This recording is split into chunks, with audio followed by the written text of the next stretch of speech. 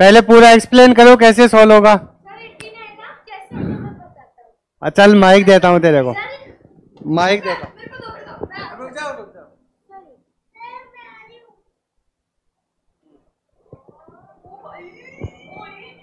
हाँ। बताओ। सर इसमें है ना सिक्स को ट्वेंटी फोर से डिवाइड करेंगे।